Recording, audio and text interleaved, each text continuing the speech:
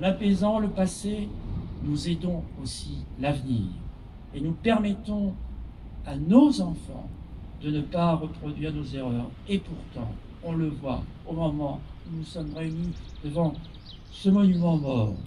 Nous voyons, nous savons combien certains souffrent aux portes de l'Europe, en Ukraine. Il y a toujours la nécessité de travailler à la préservation de la paix. Il y a toujours la nécessité à éviter le spectre de la guerre qui donc a ressurgi aux frontières de l'Europe.